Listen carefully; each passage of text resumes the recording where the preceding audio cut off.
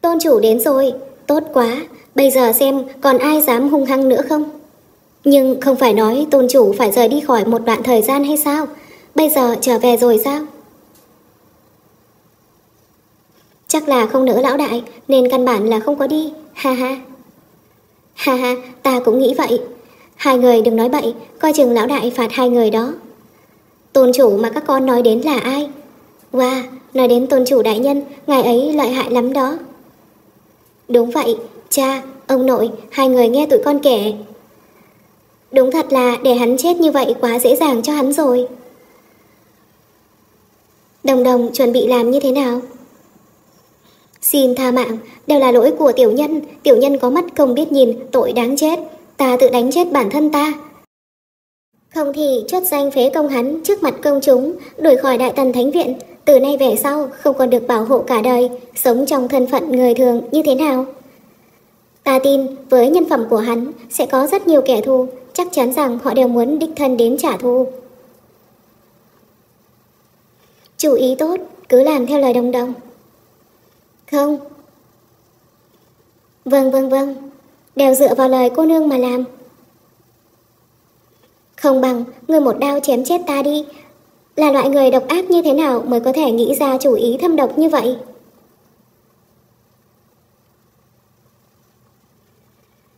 Đem mông thánh giả về, tổng viện, chốt danh phế công, trước mặt toàn thể thầy trò, thành thế nhất định phải to.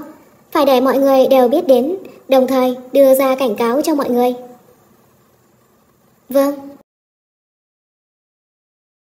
Đại tần thánh viện các ngươi đúng là nên chỉnh lý lại rồi, xem xem đã nuôi ra thứ bại hoại vô liêm sỉ như thế nào, giải quyết xong người này có phải là đến lượt ông rồi không? Vâng, tôn chủ đã đáp ứng cho lão hũ vạn tượng lâm căn, nhưng nếu như không tìm được thì thôi, coi như là đền tội cho các ngươi là được rồi. Bản tôn đã phái người đi tìm rồi, sẽ không thiếu được của ông đâu. Bọn phế vật mà tìm được mới lạ.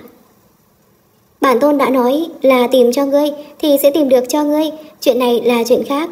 Ngươi đã thương phu nhân của ta, không thể cứ như thế mà cho qua được. Cái gì? Đồ nhi của ta? Từ khi nào đã có đối tượng rồi mà ta lại không biết? Cái gì phu nhân? Chàng ấy lại thừa nhận trước đám đông rồi. Đúng vậy, chúng tôi hợp nhau như vậy, không lẽ người nhìn không ra sao? Mắt mù rồi à? Chẳng trách sẽ ra tay đánh thương phu nhân của ta. Chuyện này không thể cứ thế mà bỏ qua được.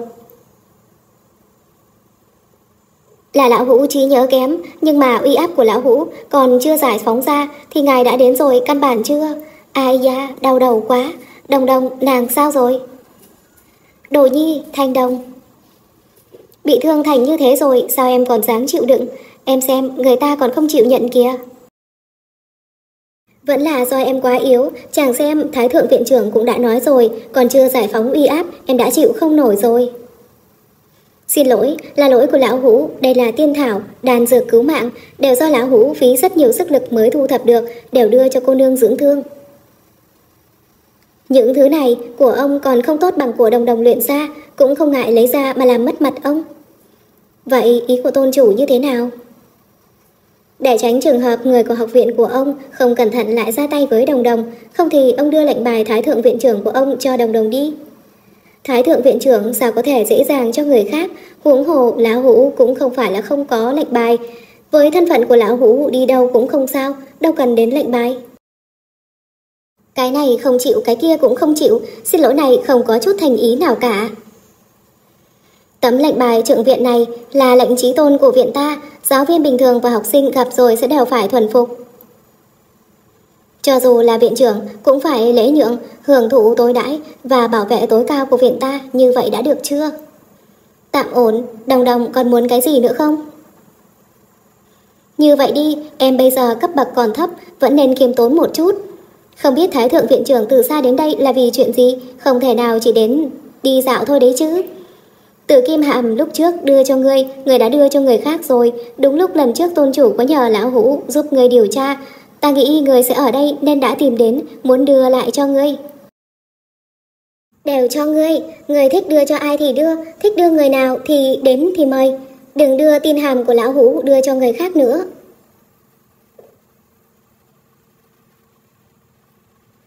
Đa tạ Thái Thượng Viện trưởng. Ta đi đây, còn không đi, lão phu ngay cả cái quần cũng sẽ bị các ngươi lấy mất. Hai người các ngươi đúng là trời sinh một đôi. Người này thật thú vị. Ngoại trừ mắt bị mù ra, còn rất biết nói chuyện. Đồ nhi, con không giới thiệu cho ta biết sao? Đây là sư phụ ta, cụ thể thì tí nữa con sẽ nói với sư phụ. Chào sư phụ. Ừm, rất lễ phép. Hắn sao lại ở đây? Là viện trưởng mời đó, mỗi năm kỳ kiểm soát cuối năm đều sẽ mời các danh môn đế gia của các nước đến tham dự. May là có hắn giúp ta không ít. Lại chuyện gì nữa đây? Sự việc cũng giải quyết hết rồi, chàng mau về đi. Lúc trước thần hồn của chàng vừa mới dưỡng tốt, gần đây đừng có động đến nữa biết chưa? Đồng đồng, em vội vàng đuổi ta đi như vậy sao? Đúng vậy, chàng bây giờ không về thì bao giờ mới về? Không đi. Chàng sao rồi, chàng đang giận à? Tại sao lại giận? Sao chàng lại có thể lấy cơ thể của mình ra đùa được chứ? Mau trở về đi. Lại chuyện gì nữa đây? Tôn chủ đại nhân có phải ngài đang ghen không? Đồng đồng, nàng đừng có nói bậy, không phải. Phản ứng thật dễ thương. Khự, bản tôn vẫn luôn rộng lượng, ghen tuông này, từ này sử dụng trên người bản tôn e là không phù hợp. Hoàn toàn không tin. Sao các ngươi có biểu hiện như vậy? Bản tôn nói không đúng hay sao? Bản tôn đường đường là hắc vực minh tôn. Vậy bây giờ chàng có đi về không? Vừa mới khỏe ra, chàng đừng có kích động quá. Thì ra, hắn là hắc vực minh tôn, bản lĩnh đồ nhi ta thật lớn, thân phận và địa vị như thế mới xứng với đồ nhi của ta chứ. Bản tôn cảm thấy vẫn ổn mà, đông đông em đừng lo. Ý của chàng là còn chưa chuẩn bị đi. Hồn thẻ yếu đến như vậy rồi, còn dáng chịu đựng. Đồng đồng, sao em cứ một mực đuổi ta đi như vậy, không muốn gặp ta đến như vậy sao? Đương nhiên là không phải rồi, đúng rồi, có chuyện này em vẫn luôn thắc mắc, còn nhờ tôn chủ đại nhân giải đáp dùm. Ăn ghen đến độ ngay cả cơ thể của bản thân cũng mặc kệ, còn không chịu nhận, xem ta không lột đi lớp da giả tạo của chàng. Cái, cái gì? Chàng không phải là nói phần hồn chưa về sao? Đây là cái gì? Cái, cái này là cái khác. Tôn chủ tưởng em ngốc thật sao? Tôn chủ ngốc của mình ơi, tùy tiện hù một chút liền để lộ rồi, ngay cả lời biện hộ lúc trước cũng quên luôn rồi, chàng như thế, chỉ có mình em biết đến, em phải giữ gìn thật tốt, tuyệt đối không để người khác cướp đi mất. Xin lỗi, ta không phải cố ý, ta chỉ là, chỉ là không nhịn được, khống chế không được bản thân, thật là xấu hổ, xấu hổ quá đi. Chuyện như thế sao ta có thể thừa nhận được? Cho nên chàng mới nhẫn tâm mà đùa giỡn em như thế. Không phải, bản tôn không có ý muốn đùa giỡn em. Người xem, đồ đệ ta thật có bản lĩnh, ngay cả hắc vực minh tôn cũng phải nghe lời nó, không hổ là đồ nhi của ta. Hắc vực minh tôn, quyền lực trên cao, cao ngạo lạnh nhạt trong lời đồn lại biết nhẹ nhàng xin lỗi, thì ra bọn họ cư xử với nhau như thế, hoàn toàn khác với tưởng tượng của mình. Mình có phải là đã hoàn toàn hết cơ hội rồi không? Bản tôn tuyệt đối không có ý muốn đùa giỡn em, bản tôn chỉ là da mặt mỏng sống chết mà cũng không chịu thua, em biết mà. Và lại lúc đó em cũng làm không ít việc quá đáng với bổn tôn đúng không? Phụt khụ. Nhìn em khó chịu, ta cũng khó chịu theo. Đồng đồng, em mà có giận ta, thì em đánh ta, mắng ta, đến khi nào hạ giận cũng được. Được rồi, được rồi, đừng có nói nữa, ta không có trách chàng. Ta chỉ là muốn chàng biết Chàng như thế nào ta cũng không để ý, ta thích hết, cho nên không cần để ý, không cần phải lo sợ mất mát. Trước mặt ta, chàng cứ vui vẻ mà làm bản thân mình biết chưa? Đồng đồng. Đừng có quan tâm những cái khoác ngoài kia, ta bây giờ chỉ quan tâm tới cơ thể của chàng thôi, tình trạng bây giờ của chàng không thể rời khỏi bản thể quá lâu. Nghe lời và trở về đi. Ừm, bản tôn đều nghe theo em. Chàng đã đến nơi rồi đúng không? Tình huống bên đó sao rồi? Thuận lợi chứ? Không, không có gì, thuận... Thuận lợi sao? Vậy thì tốt, xử lý xong thì nhớ về sớm. Ấy, sao nhìn chàng lại hoang mang như thế kia? Ừm, bản tôn biết rồi, bản tôn về đây. Kỳ lạ thật. Đúng là đồ đệ của ta, chẳng trách lúc trước vì sư muốn giới thiệu cho con, con không chịu, thì ra là danh hoa đã có chủ rồi a. Chuyện lúc nào vậy, sao không nói cho ta biết? Sư phụ, sao người bắt quái thế, mau về nghỉ ngơi đi, đánh nhau với con lâu như vậy rồi, tuổi tác cũng lớn rồi, phải biết dưỡng sinh chứ. Vì sư đang tuổi tráng niên, khỏe lắm, con nói bậy bạ gì thế? Vậy ngày mai con đến kiểm tra người họa đồ nha. Con nói gì ta không nghe thấy. Võ đạo tốt lành ở đó không tu, lại muốn đi tu con đường mình không thiên về. Ở đó cắm đầu cắm cổ nghiên cứu minh văn chi thuật, ngoan cố. Tài y đại nhân Chàng ấy đôi lúc rất giống con nít, bướng bỉnh lắm, có chỗ nào mạo phạm đến, ta thay chàng ấy xin lỗi ngươi. Không sao. Xem hắn quan tâm đến em như thế, chăm sóc em, ta cảm thấy vui mừng thay cho em. Cảm ơn. Hắn đối đãi với em có tốt không? Em thật sự hạnh phúc sao? Trước đây, chuyện tình cảm ta chưa từng nghĩ đến, nhưng nếu như không phải chàng ấy, cả đời này chắc ta không thể có được.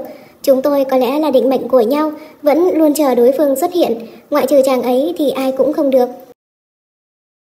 Vậy, vậy sao? Em cảm thấy hạnh phúc là được rồi, chúc phúc hai người.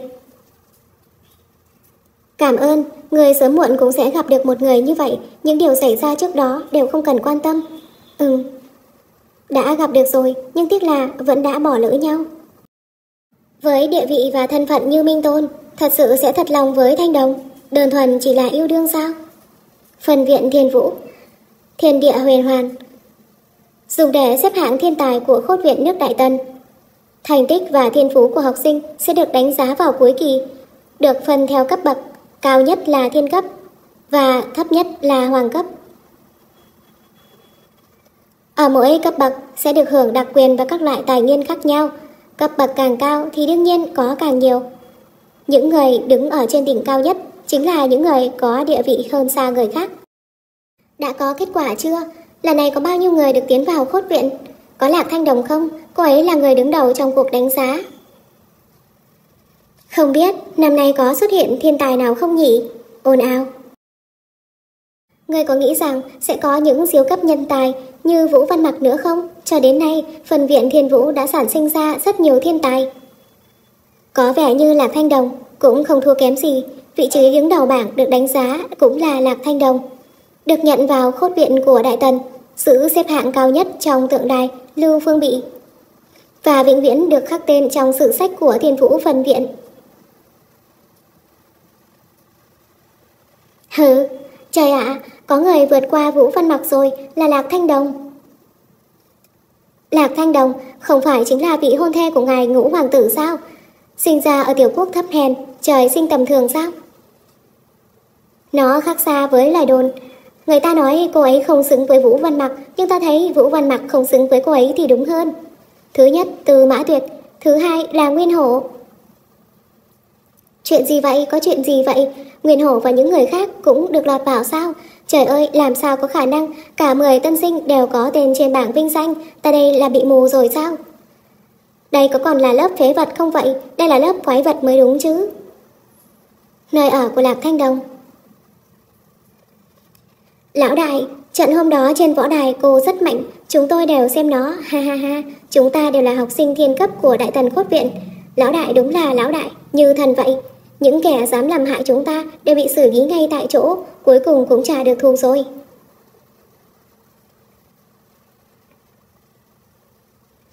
Tuy nhiên, cũng quá ly kỳ rồi, không ngờ Tống Thành đạo sư lại là cường giả khốt cảnh.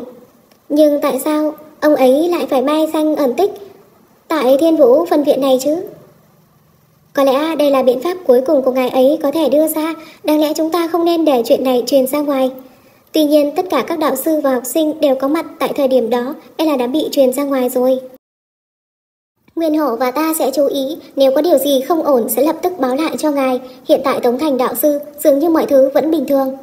Này, Tiểu Phàm, con có hài lòng với sự an bài của lão nhân gia dành cho con không? Hiện tại các con đã trở thành người của Thiên Vũ Đế quốc, có rất nhiều thế lực muốn lấy lòng các con.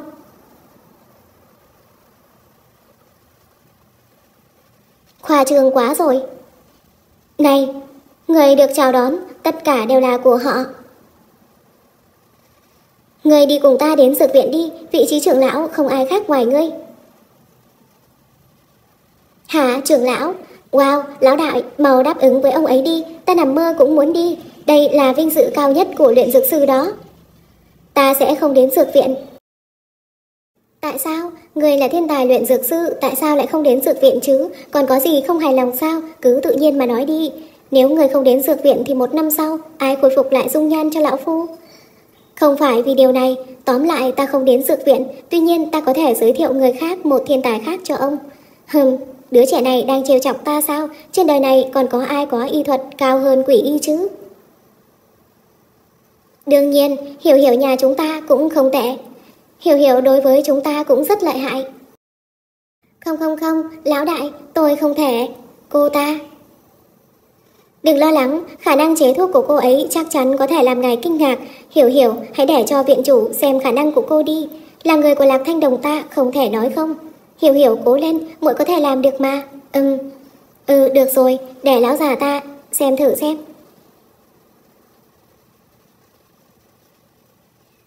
Ngưng tụ Đây Như thế nào, ngạc nhiên dưới sự chỉ dẫn của lão đại Hiểu hiểu không có bất kỳ khuyết điểm nào Khuyết điểm chính là quá ưu tú cha không tồi không tồi Khả năng này cùng với năng lực này không thua kém chút nào so với thiên tài luyện dược sư hàng đầu của đội viện Độ ổn định của thuốc ở dạng lỏng đã đạt đến độ hoàn mỹ, có thể điều chế được loại nước thuốc mà không có giới hạn. Người đã làm như thế nào? Lão đại đã dạy ta rằng nếu không thể đi trên con đường của người khác thì hãy tạo ra cách độc đáo của riêng mình để người khác phải học theo mình. Lão đại là tốt nhất. Tốt, người cứ theo ta đến dược viện, ta sẽ giúp người sắp xếp mọi thứ tốt nhất. Nếu cần gì cứ nói đừng có ngại nhé, được không? Như thế có ổn không? Thì thầm, Xin cảm ơn viện chủ trước. Cảm ơn viện chủ, học sinh vô cùng cảm kích. Ừm, tuy nhiên quỷ y. Vì ngươi không muốn đến nên ta trao cho ngươi thân phận thủ tịch danh dự được không? Hiện tại cô nhóc vẫn còn quá non nớt, đặc quyền và cấp bậc trưởng lão sẽ có nhiều tài nguyên thuận lợi cho ngươi và hiểu hiểu sử dụng nó. Trưởng lão danh dự. Được, thỏa thuận như vậy đi, ngài có thể giúp ta xếp thân phận lạc thất để tiến vào. Không thành vấn đề. Tài nguyên thì vẫn lãnh, tu luyện thì vẫn tu, một người tu hai viện không tốt sao, còn có thể thuận lợi ẩn trốn nữa. Sau này chính là lão sát khí của ta rồi, tuyệt vời.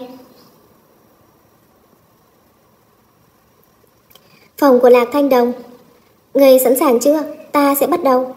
Ừ. Đưa tay đây. Này, sức mạnh đáng thương của ta lại phải bị tiêu hao rồi. Ta sẽ hồi lại gấp đôi cho ngươi sau khi hoàn thành nó được chưa? Được rồi, đây là những gì ngươi đã nói, nói lời phải giữ lấy lời. Một thời gian sau. Phù, cuối cùng cũng ổn rồi. Không được, ta kiệt sức quá, ta sẽ sớm thức dậy thôi. Lão đại, sao người lại ở đây? Tiểu tuyết nhớ người nhiều lắm. Yo, người biết nói rồi à, À, sao ngươi nhỏ quá vậy? Sao ngươi lại nhỏ như thế? Nhỏ cái con mẹ ngươi, lão tử tuy nhỏ nhưng vẫn lợi hại đấy. Ca ca. Rụi rụi. Hi. Ngã nhào Lột xác thành công ư, khá lắm, cánh cứng cáp rồi, đúng không? Dám đối xử với bản đại gia như vậy, nếu không phải bản đại gia và chủ nhân tu hồi Bách quỷ Phan giúp ngươi Thì bây giờ ngươi vẫn còn đang ở trong tháp chờ chết rồi đó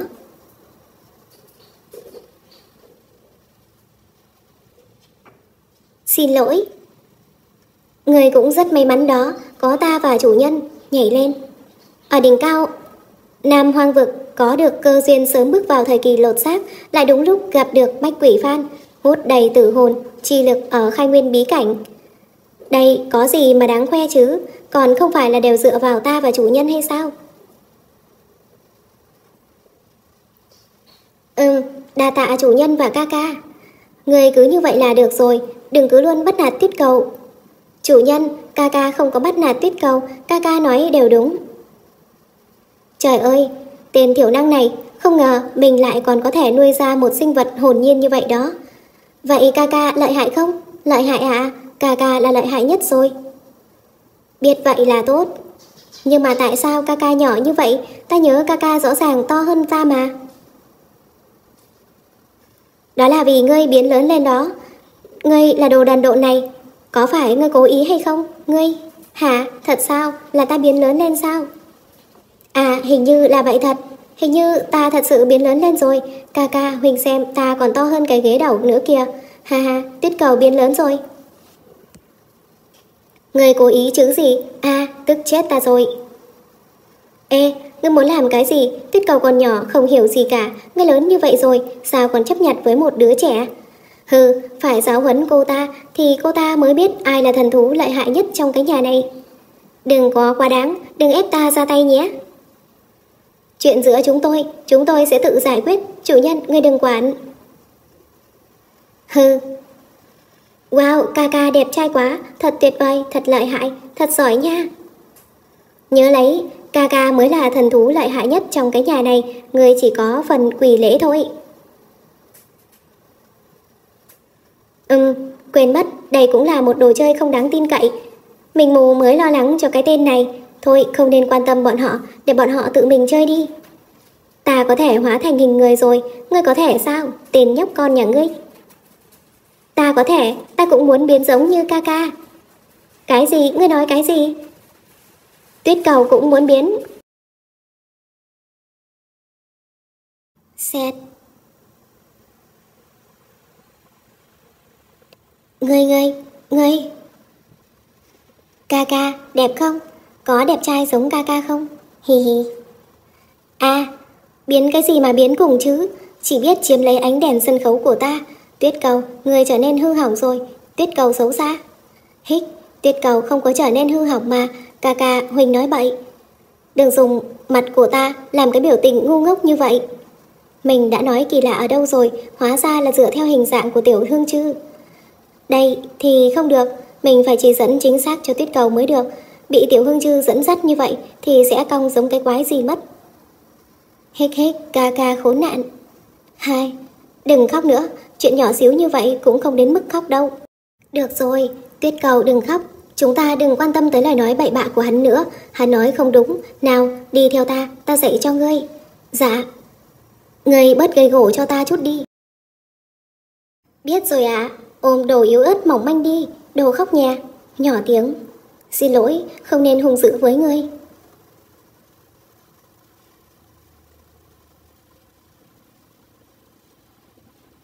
Nhìn xem, như thế nào? Mở cửa.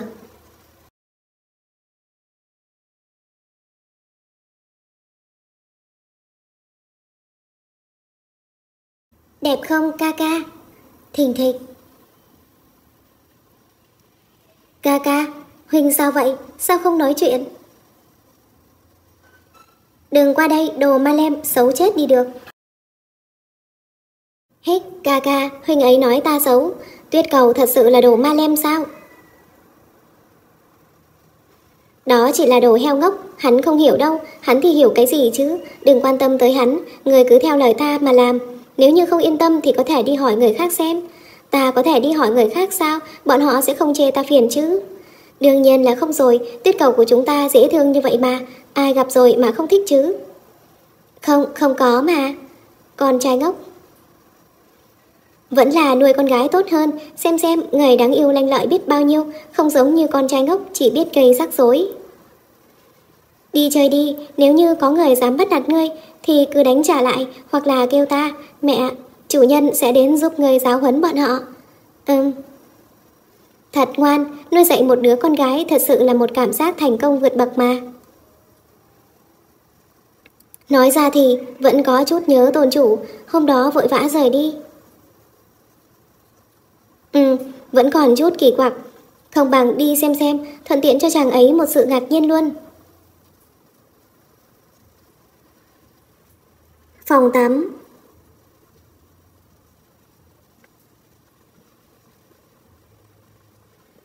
Dạ thiên minh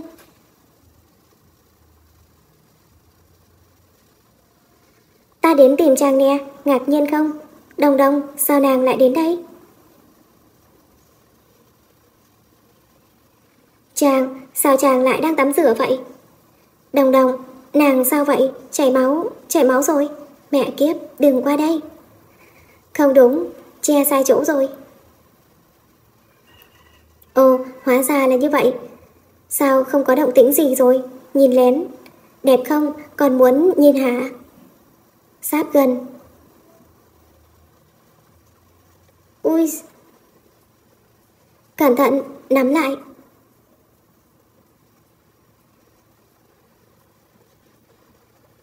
Cơ ngực thật tuyệt, sờ sờ. Muốn sờ thì mạnh dạn sờ, của ta chính là của nàng hết. Trượt xuống. Đừng, đừng chạm. Bây giờ ta là hồn thể, thêm một lát nữa thì sẽ bị chàng làm cho thu nhỏ đó. Cái quái gì vậy? Không phải nàng thích nhất. Mau mang y phục vào đi. Có bản lĩnh thì chàng đợi được bản thẻ của ta đi, nếu không ta sẽ không lượt xử lý chàng đâu. Đồng đồng, nàng nói thật đi, có phải nàng nhớ ta rồi không? Mau nói, mau nói, đừng nói dối. Đúng vậy, nhớ chàng rồi. Bản tôn biết rồi. Bịch. Thiên Vũ phân viện. Tiểu muội muội, muội tên là gì vậy? Đến học viện làm gì đó? Xem ra thật là ngoan, thật là bé nhỏ nha. Bao nhiêu tuổi rồi? Tìm, tìm ca ca. Ca ca của muội là ai? Bọn ta giúp muội tìm huynh ấy có được không? Màu tóc cũng rất đặc biệt. Màu tóc cũng rất đặc biệt. Muội trông thật đẹp nha. Gọi một tiếng tỷ tỷ nghe có được không? Thật sao? Muội thật sự đẹp sao? Đúng vậy, rất đẹp. Hi hi. Thật là, mấy người này còn muốn nhìn bao lâu nữa chứ? Tuyệt cầu cũng vậy, một chút phòng bị cũng đều không có, tùy tiện nói chuyện với người lạ, lỡ may bị tính kế thì làm thế nào? Tóc của muội thật là đẹp, bọn ta có thể sờ được không? Da của muội tại sao lại đẹp như vậy chứ? Trời ạ, ghen tị quá đi. Nựng khuôn mặt thịt nhỏ này thật thoải mái nha. Ê, đừng.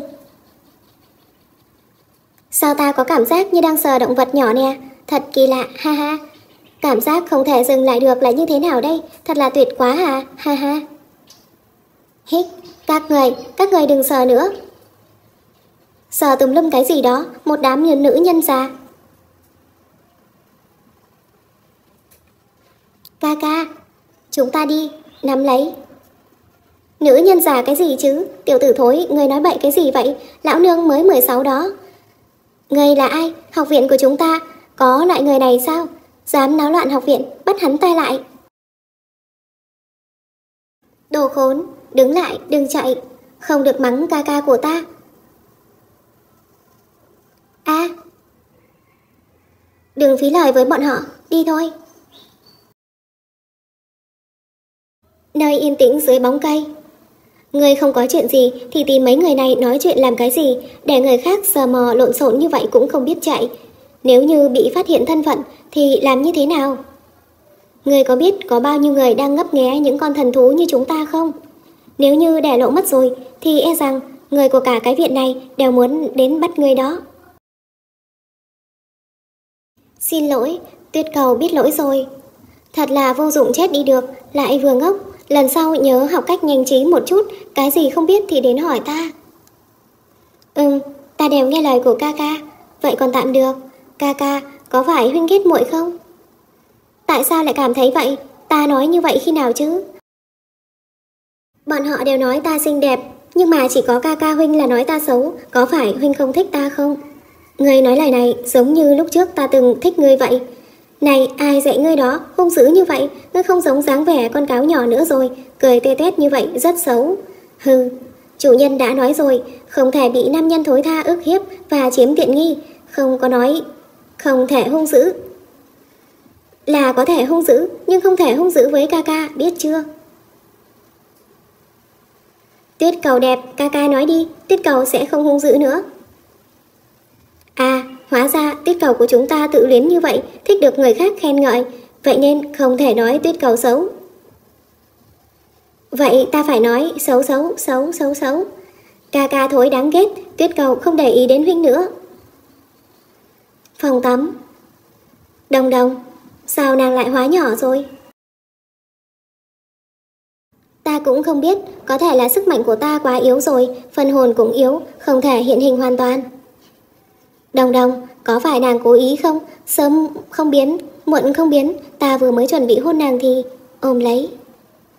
Chút. Như vậy có thể rồi chứ? Đương, đương nhiên không đủ. Ừ ừ, biến thái.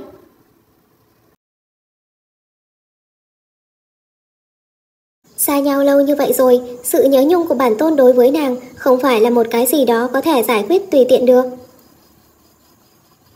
Vậy chàng còn muốn như thế nào? Thứ bản tôn muốn nhiều lắm đó. Ta đã như thế này rồi, chàng còn muốn ra tay à? Nếu như bản tôn nhớ không lầm, thì lúc bản tôn hóa nhỏ, nàng không ít lần đối với bản tôn như vậy mà. Khụ khụ khụ, không phải nói đã quên mất đoạn ký ức đó rồi sao? Lúc trước cố ý giả vờ mất trí lừa ta, đánh chết cũng không thừa nhận, bây giờ thì trái lại rất chủ động a. Không, bản tôn nghĩ thông rồi, cơ hội hiếm có như vậy, bản tôn đương nhiên phải trả lại rồi. Lúc đầu, sao nàng đối xử với ta như thế nào, ta sẽ trả lại gấp đôi cho nàng, như thế nào? Nhéo. Chàng, chàng, chàng, sao chàng có thể như vậy chứ? Bản tôn cũng muốn, nàng đi đến đâu ta cũng sẽ bắt được nàng ngay chỗ đó, mỗi một bước cũng không để nàng thoát khỏi. Đi đâu đều phải để bản tôn ôm mới được. Không có cái ôm và sự cho phép của bản tôn thì nàng không được đi đâu cả. Bản tôn còn muốn cho nàng mặc các loại y phục, bản tôn thích những loại y phục nhỏ đáng yêu. Bón cho nàng ăn, thay y phục tắm rửa, còn muốn làm ấm giường với nàng. Im miệng, đừng nói nữa, tắm rửa không phải là chuyện ta chủ động mà. Nhưng nàng vẫn làm rồi, sao dám làm, không dám nhận sao? Đồng đồng, nàng nói cơ hội dâng đến cửa rồi, bản tôn có thể bỏ qua sao?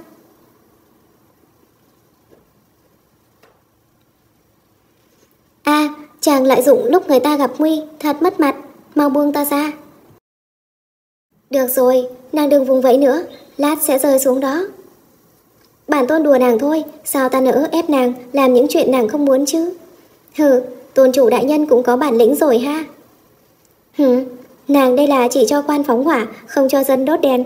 Đồng đồng, thế này có phải là quá không công bằng rồi không? Ta đâu, đâu có quá đáng thế đâu. Chủ tử có thể nghỉ ngơi rồi ạ? À? Ừm. a Đừng sợ, bản tôn sẽ không để nàng bị rơi xuống nước đâu.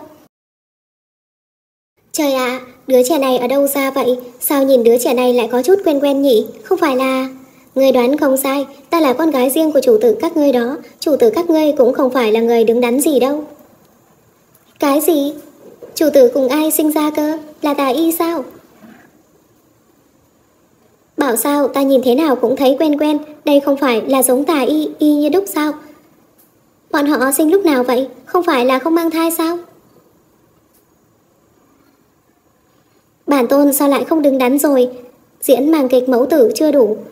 Thỏa mãn cho nàng sao? Bây giờ muốn chơi kiểu phụ tử à? Vậy kêu một tiếng phụ thân ta nghe thử xem. Chàng làm ơn giữ chút thể diện đi được không? Đây không phải là do nàng muốn chơi nên bản tôn mới chơi cùng nàng sao? Sao lại đổi thành bản tôn là người sai chứ?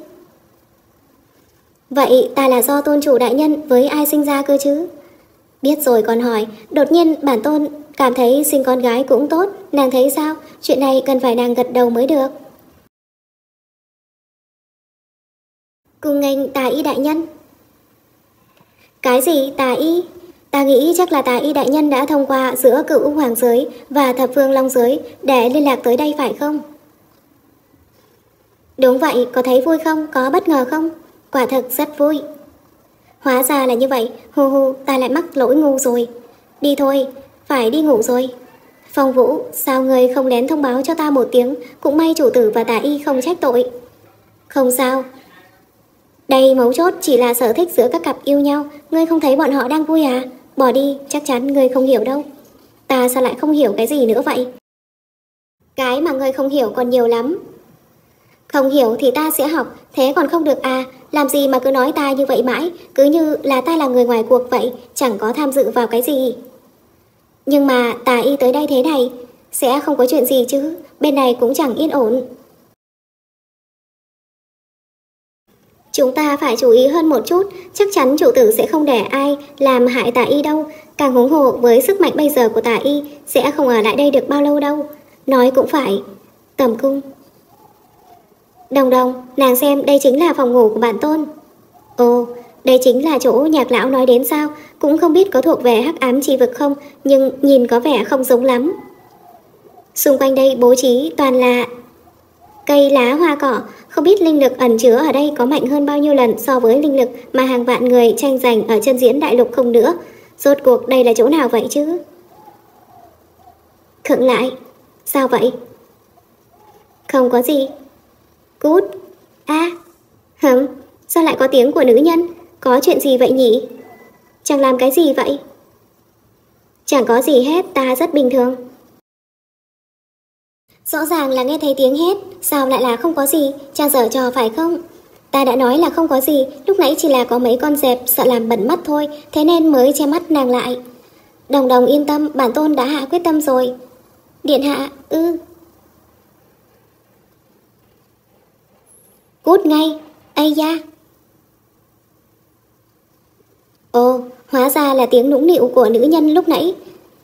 Là đến từ họ à? Đồng đồng, nghe ta giải thích là có người lén nhét họ vào đây, bản tôn vẫn luôn giữ mình rất kỹ, trước giờ chưa từng để kẻ khác đạt được mục đích.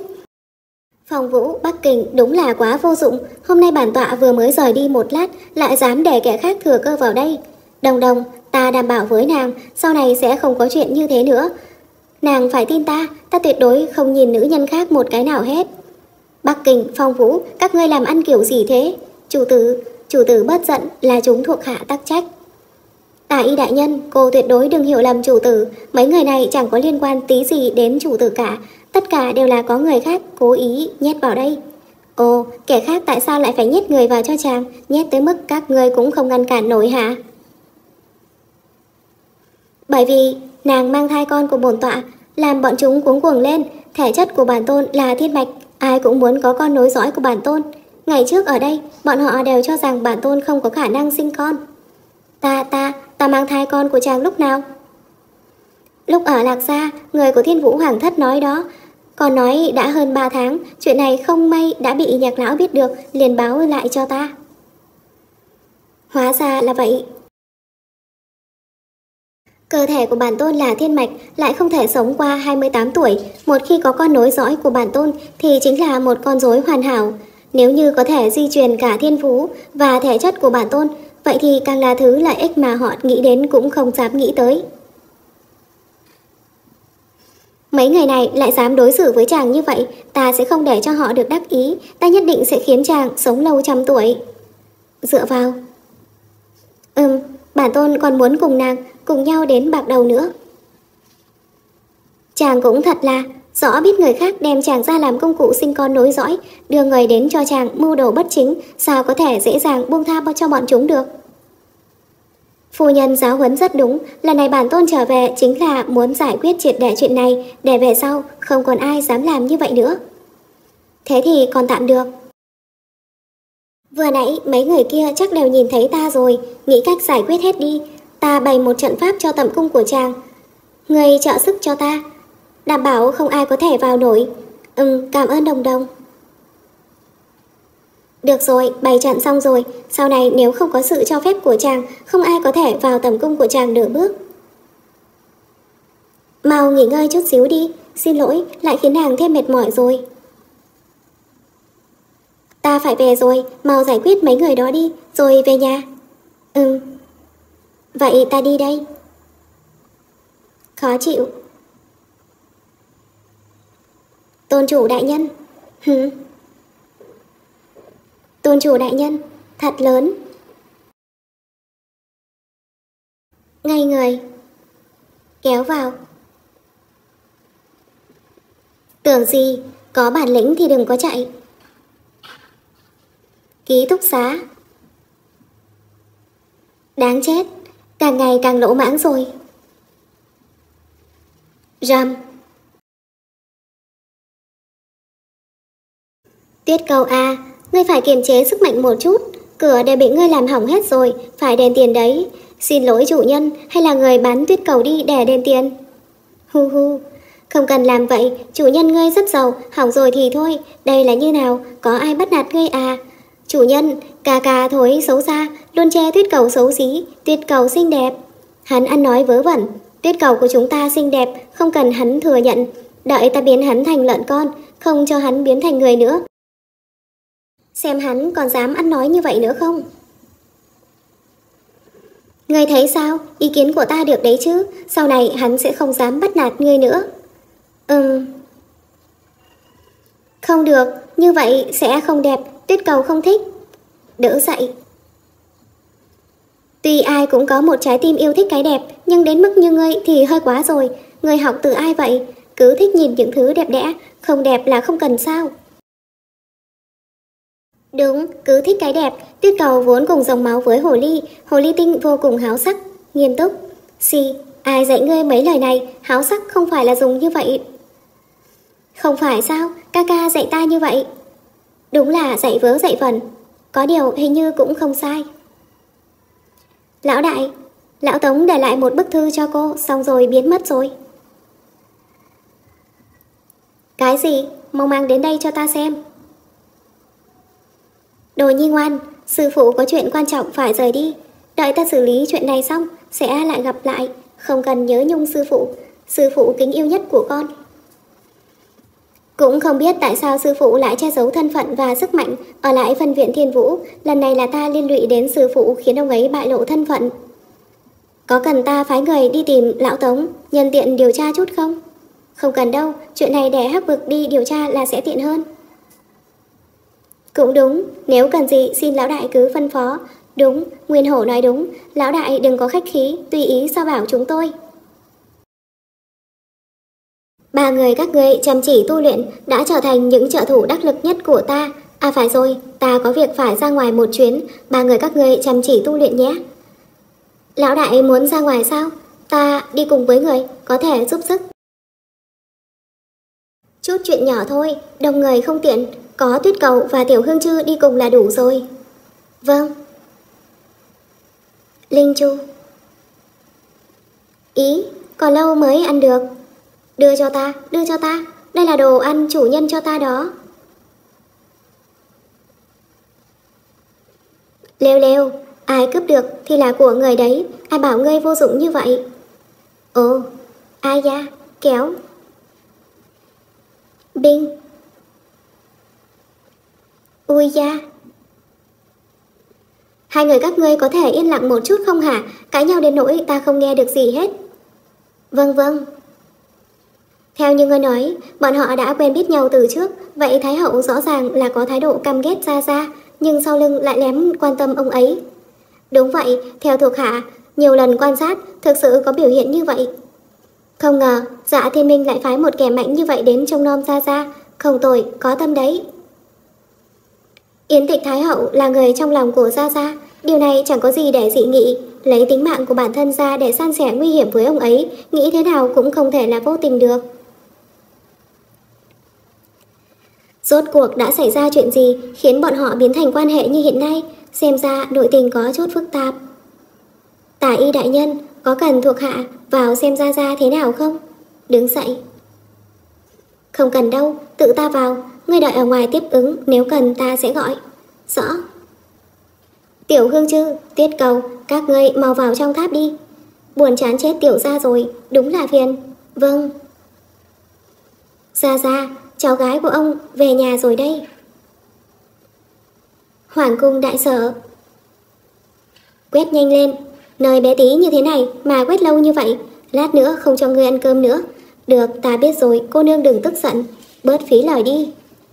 Ta muốn hỏi chút, Thái hậu gần đây đang... Láo dược, Thái hậu là đẻ kẻ ti tiện như ông gọi đấy à? Không phải, ta không có ý bất kính với Thái Hậu, chỉ là gần đây không thấy bà ấy đến đây, ta lo lắng có chuyện đã xảy ra. Có phải đã xảy ra chuyện gì không? Người thật to gan, Thái Hậu dựa vào đâu mà phải đến đây? Ngươi tưởng ngươi là ai, muốn chết đúng không? Xin lỗi, ta không hỏi nữa là được chứ gì. Muộn rồi, hôm nay ta phải thay Thái Hậu dạy cho ông một bài học. Lão già không biết trời cao đất dày này. Vụt, bập, dám động đến da da của ta, muốn chết à? Thanh Đồng, ngươi, ngươi là ai? a Đá. Thanh Đồng, được rồi, cô ta ngất rồi, đừng làm bị thương người ta, Gia Gia không sao đâu, con đến một mình à, càn quấy, đây không phải là nơi con có thể đến đâu. Gia Gia, con rất lo lắng cho người, sao vừa nãy người không trốn đi, có phải bình thường cô ta cũng gây khó dễ cho người như vậy không, con không thể tha cho cô ta được. Không có, Gia Gia ở đây rất tốt, hôm nay chỉ là ngoài ý muốn thôi, là ta quá phận. Không sao, Gia Gia, con đến đón người về, sau này hãy để cháu gái chăm sóc bảo vệ người. Ta, ta không muốn về. Tại sao? Là vì Thái Hậu sao? Gia Gia thích bà ta à? Khẩu. Đừng đừng, đừng nói nữa, chuyện người lớn trẻ con không hiểu đâu. Con còn không hiểu sao? Con quá hiểu ấy chứ, e là Gia Gia đã hoàn toàn lún sâu vào rồi. Tóm lại, ta sẽ không quay về đâu, Gia Gia ở đây không sao, con mau về đi, đừng để người khác phát hiện. Nhưng như thế này cũng không phải là cách. Thích khách, có thích khách, mau cứu giá bảo vệ Thái Hậu. Tịch Nhi ra ra đợi con với. Tẩm cung của Yến Tịch Thái Hậu. Phập. A. Tịch Nhi nàng không sao chứ? Ngăn lại Đừng để ông ta qua đây. Tịch Nhi Ta chỉ xem nàng có chuyện gì không thôi Sẽ không làm gì cả. Nàng để ta ở lại đi, lôi hết bọn chúng ra ngoài cho bổn cung đánh chết rồi đem đi thị chúng để săn đe. Còn nữa, trà rõ chuyện này cho ta. Rõ, thưa Thái Hậu. Đây chính là yến tịch Thái Hậu sao? Cũng có chút uy nghiêm tôn quý. Khẩu khẩu khẩu. Thái Hậu. Bị thương rồi. Tịch Nhi, thả ta ra, để ta qua đó nhìn một chút. Tất cả rời khỏi đây cho bổn cung, không có lệnh của ta, không ai được tiến vào, ném ông ta ra ngoài cho ta. Tịch Nhi, đừng, để ta ở lại đây bảo vệ nàng. Bộp, ra ra. Thanh Đồng, con mau rời khỏi đây đi, Gia Gia bây giờ không thể lo cho con được, ta phải đi xem Tịch Nhi thế nào. Gia Gia đừng lo lắng, con đi với người, người quên rồi sao, y thuật của con không tồi đâu. Đúng đúng đúng, cháu gái ta là tà y cơ mà, xem trí nhớ của ta này, con mau đi cùng ta đến xem xem. Đợi đã. Sao vậy? Có gì đợi lát nữa rồi nói. Đây là cái gì? Vừa nãy hình như Tịch Nhi đứng ở đây. Đây là máu của Tịch Nhi. Đúng, bà ta trúng độc rồi, vô cùng nghiêm trọng. Cái gì? Vậy chúng ta mau qua đó giúp giải độc đi. Con nhất định có cách đúng không? Không được, độc này con không giải được. Sao có thể? Sao lại con lại không thể giải được? Con là tài y quỷ đồng cơ mà. Độc này con không thể giải. Có điều Gia Gia lại có thể Ta, ta, ta có thể sao Gia Gia, nghe con nói tầm công Đáng, đáng chết Trên đao đó có độc Đều tại ta bị phân tâm vì chuyện của Lạc Đồng Không thì sao có thể Để đối phương có cơ hội được Lạc Đồng, người hại ta một lần chưa đủ Lần này vẫn còn muốn đến hại ta Lấy ra Lạc Đồng, đền khốn kiếp này ra ra, Thái hậu gọi tên người. Người là ai? Tịch nhi. Cút, cút ra. Tịch nhi cẩn thận. Đừng chạm vào ta, cút đi. Ta sẽ không buông tay đâu. Ta phải giải độc cho nàng, chỉ có cách này thôi. Ta không để nàng có chuyện gì được. Ta đã bỏ lỡ một lần rồi, lần này tuyệt đối sẽ không bỏ lỡ nữa. Tịch Nhi, ta chưa từng quên nàng, từ đầu tới cuối, nàng luôn ở trong lòng ta. Nàng là tình yêu duy nhất của ta. Tịch Nhi, mau ăn đan dược này đi, nàng sẽ thấy dễ chịu hơn một chút. Nuốt xuống. Nhớ ra. Cút, người tưởng ngươi là ai, ngươi xứng sao? Ta biết chuyện năm đó, Trung Quy ta vẫn nợ nàng một lời giải thích. Đợi giải đọc xong, ta sẽ tự mình ra tay. Ngươi nói cái gì? Nàng không bằng lòng nghe ta giải thích. Ta nói nhiều, nàng lại cho rằng ta xảo biện. Nhưng ta chưa từng nghi ngờ nàng. Ta không tin nàng có gì với người khác, càng không cho người truy sát nàng. Chúng ta đều bị trúng kế, tín vật định tình, cũng là do bị bọn họ trộm mất đưa cho nàng. Lời ân đoạn ghế tuyệt cũng là do bọn họ nói, chính là muốn nhân cơ hội nàng thương tâm, tuyệt vọng để ra tay. Đều trách ta năm đó quá ngông cuồng tự phụ. Bây giờ, ngươi nói những điều này có tác dụng gì? Lạc đồng, trên người ta đã trúng 31 đao, Hồng Nhi lúc đó nằm trong tay ta. Toàn thân lạnh băng, nó cũng bị trúng ba đao. Người biết lòng ta đau khổ thế nào không? Xin lỗi, là ta có lỗi với Hồng Nhi. Chuyện năm đó không ngờ lại phức tạp rắc rối như vậy, là kẻ nào đã nhẫn tâm làm hại bọn họ như vậy? Lúc đó, người đang ở đâu? Lúc chúng ta cần ngươi nhất, ngươi đang ở đâu? Ngươi bảo ta làm thế nào tha thứ cho ngươi được đây? Nắm chặt, ta bị bọn chúng lừa đến trong núi sâu, bị dã thú vây khốn. Khi ta giết được hết bọn chúng quay trở lại, thì nghe nói nàng đã xảy ra chuyện rồi. Ta liều mạng xông đến, đúng lúc nhìn thấy nàng và Hồng Nhi rơi, rơi xuống vách núi. Hồng Nhi, đều tại ta vô dụng, không bảo vệ được nó. Là ta đã hại nó. Hồng Nhi không sao. Thấy hai người rơi xuống, ta cũng nhảy xuống theo, nhưng ta không tìm được nàng, chỉ tìm thấy Hồng Nhi thoi thóp trên một cành cây. Người nói gì, Hồng Nhi không sao ư? Đúng vậy, Hồng Nhi không sao, ta đã cứu được con của chúng ta, nhưng lúc đó sinh mệnh của Hồng Nhi gặp nguy hiểm, ta chỉ có thể đưa nó đi tìm đại phu, phân phó người khác tiếp tục tìm nàng. Đợi tình hình của Hồng Nhi ổn định trở lại, ta quay lại tìm nàng, nhưng không thế nào tìm thấy nàng nữa.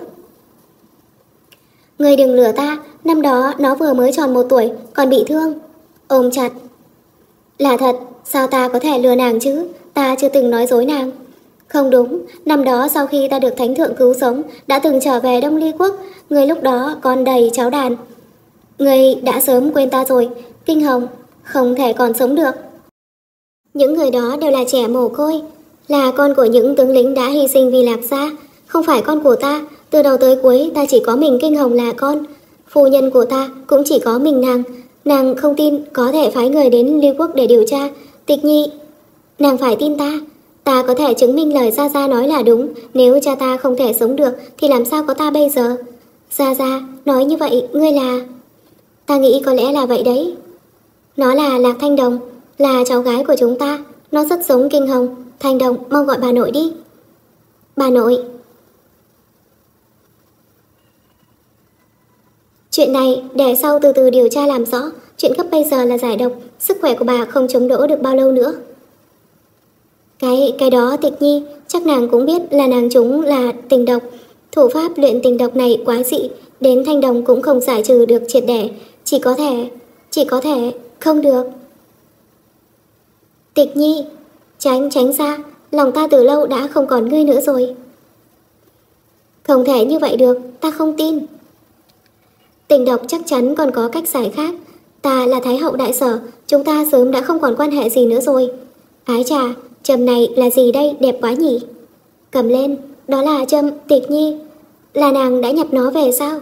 Không, không phải, đây không phải là do ngươi khắc lên, mau trả lại cho ta. Ra ra, người xem này, trên này còn có khắc tên của người. Tịch nhi, ta biết mà, trong lòng nàng vẫn còn có ta. Đừng, đừng có nói bừa. Ưng. Cốc cốc, tiếng gõ cửa. Không còn thời gian nữa, địch trong tối ta ở ngoài sáng, bà đã trúng kế rồi, nhất định còn có âm mưu khác đang đợi sẵn. Ra ra, mau dìu bà vào trong mật thất đi, hai người nhớ tranh thủ thời gian đấy. Ừm. Sao, sao ngươi biết có ám thất? Lát nữa quay lại nói sau, giờ đừng nói gì nữa, giữ gìn thể lực. Ấn xuống, ra ra, hai người mau vào trong đi. Thành đồng, vậy còn con thì sao? Con cũng theo bọn ta trốn vào đi.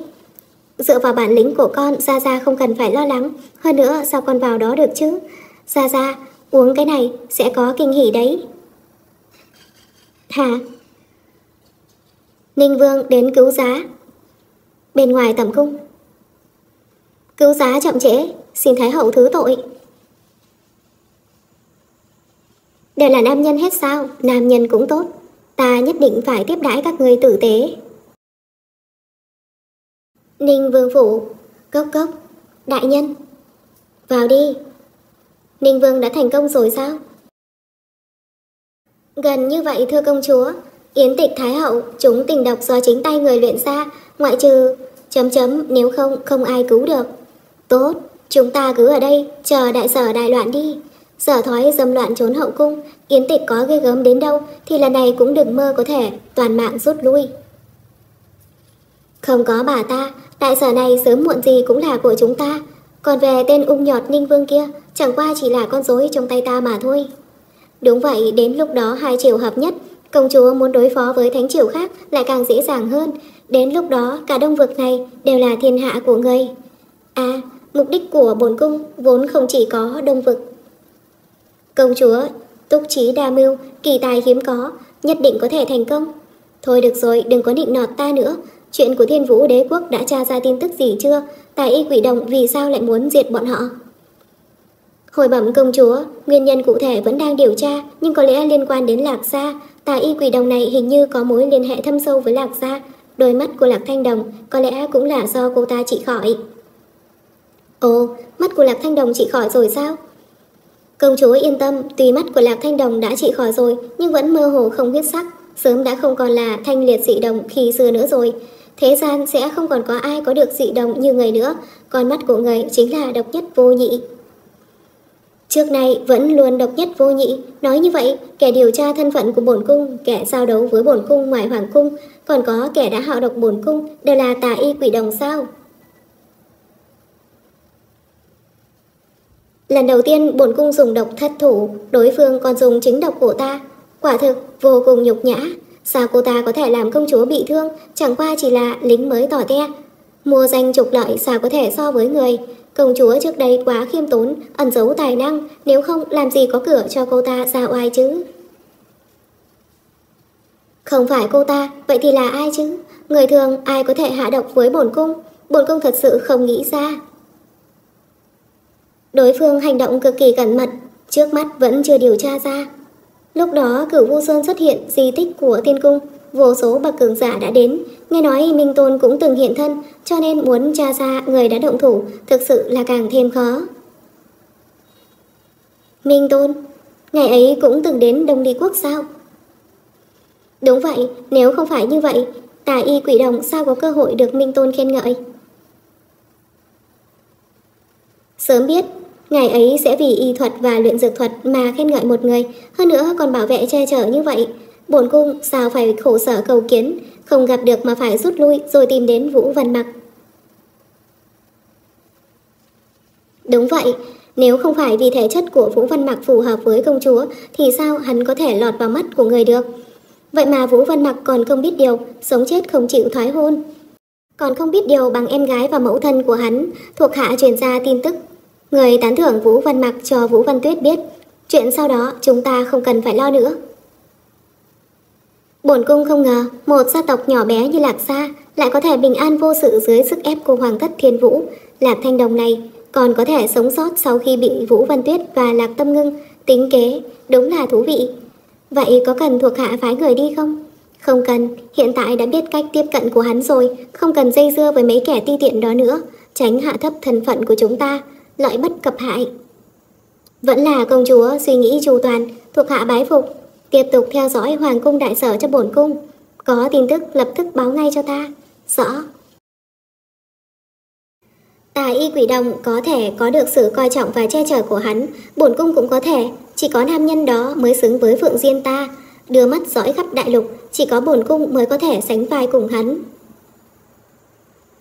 Tẩm cung của Yến Tịch Thái Hậu Thái Hậu có lệnh, không ai được đến gần nội điện. Hừ, Thái Hậu gặp thích khách, chuyện lớn như vậy các ngươi dám giấu, giờ còn dám ngăn cản bổn vương, nếu Thái Hậu gặp chuyện gì, các ngươi có gánh nổi không? Đây, đây là mệnh lệnh của Thái Hậu. Bổn vương đây phụng chỉ đến cứu giá, các ngươi cút ra cho ta. Nội điện không có chút động tĩnh nào, mấy tên cẩu nô tài này, nếu cứu giá chậm trễ, để Thái Hậu có chuyện gì, bổn vương sẽ lấy mạng các ngươi. Người đâu, mở cửa lớn ra cho bổn vương xông vào. Rõ. To gan, trước tầm cung của Thái Hậu mà dám hỗn dược. Đi, theo bổn vương đến hộ giá. Diễm lệ phong tư của Thái hậu lúc này nhất định phải để cho tất cả mọi người chiêm ngưỡng mới được. A ha ha ha. Thái hậu, người đâu? Lục soát cho bổn vương xem có ám thất không? Rõ. Ha, sắp có kịch hay xem rồi. Ơ. Còn đứng ngay ra đó làm gì? Mau lục soát cho ta. Hơ hơ. Hơ hơ. Các ngươi sao vậy? Nhìn bổn vương làm gì? Ơ. A. Ken. Ken. Đây là gì? Dừng tay. Chính bọn họ náo loạn tẩm cung của Thái Hậu. Thái Hậu gặp thích khách, chúng ta phụng mệnh. Ninh Vương Điện Hạ đến cứu giá. Thái Hậu gặp thích khách, người mình đánh nhau là sao? Mau đi vào trong xem.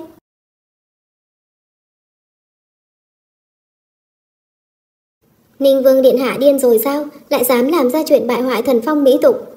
Như vậy ở tầm cung của Thái Hậu. Ninh Vương Điện Hạ. Trời ơi, sao lại xảy ra chuyện như vậy? Thái Hậu đâu? Thái Hậu không sao chứ? Gọi mãi mà Ninh Vương vẫn không có phản ứng gì. Thái Hậu ra đáo. Có chuyện gì vậy? Bổn cung chỉ mới ra ngoài tản bộ một chút mà đã xảy ra chuyện hoang đường như thế này. Thái Hậu, thật may người không ở tầm cung. Ninh Vương e là... Đã làm ra chuyện đáng xấu hổ, người đâu đưa Ninh Vương về phủ, còn những tên này tất cả đều phong làm vương phu, đưa vào Ninh Vương phủ. phòng làm vương phu, đúng là không hổ là bà nội của ta, nghĩ ra chiêu này, e là sẽ khiến Ninh Vương tức chết, thật đáng mong đợi, ha ha.